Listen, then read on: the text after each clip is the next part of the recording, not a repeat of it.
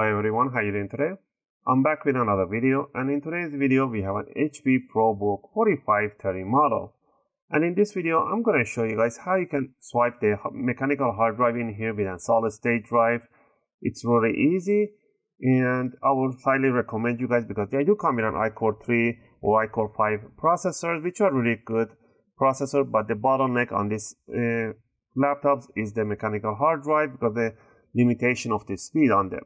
So once you upgrade to SSD hard drive, you're gonna see humongous uh, performance increase and I would really highly recommend you guys to install Windows freshly. Do not do any cloning of the whole hard drive. Before we start the process, you want to back up your files to an external hard drive or to a cloud somewhere and then you want to power it off completely and then you want to remove the battery on the bottom cover. This one is already missing a battery. All you need to do to pull these two triggers away and push towards each other and the battery will come out. Just remove the battery. Next, you want to remove, grab yourself a screwdriver set.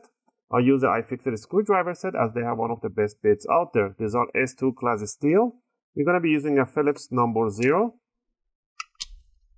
And we're going to remove one screw on the bottom cover, which is right under the battery right over here.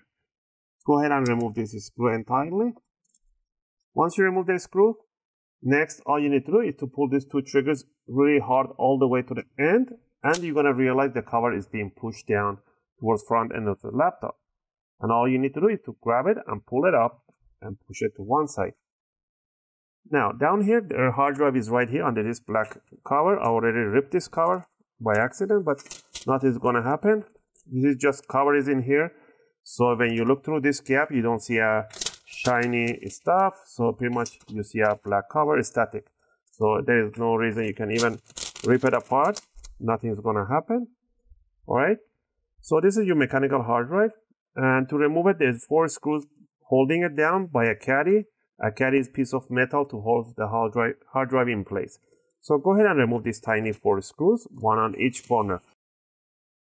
Alright, once you remove the screws, all you need to do is to grab this handle and pull the hard drive towards the left side.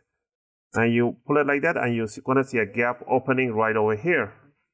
Once you see the gap and just grab the hard drive, bring it up and bring it like this. I already removed the screws for this one, I forgot to put them back in. You want to find out four screws on the hard drive, four tiny screws, one on each corner, two on this side and two on this side. All you need to do once you remove these two screws, you can just grab the hard drive from here, pull it out, bring it here. Now next, all you need to do is to grab your solid state drive. I'll leave the link for some of the good brand solid state drive. This is a really not a good brand, but what client brought it in.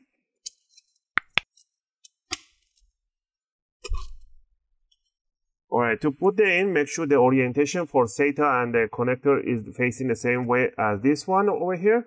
So you want to put it back down like this.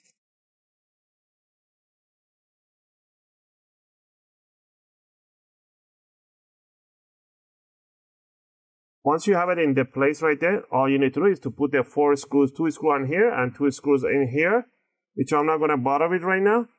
And once you have it in there, just bring it down, push it with an offset position, the back towards there, and pull it down, and then pull it towards the jack.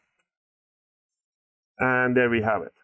Once you have it in this position, all you need to do is to put the four screws for the hard drive. Alright, once you have the hard drive in there, all you need to do is to grab the bottom cover, bring it with an offset position, put it right in here, and slide it toward the battery, and the last thing down here would be to put the bottom screw on the cover right there so it doesn't go back down. Again, remember this hard drive doesn't have any operating system. I made a video how to create Windows 10 USB boot drive and a video how to install it on an HP laptops. You want, I'll leave those links in my video comment if you guys want to follow it. As always, I hope this video helped you guys out. And if you have any question or request, feel free to leave them in my video comment. Thanks for watching and I'll see you guys in my next video.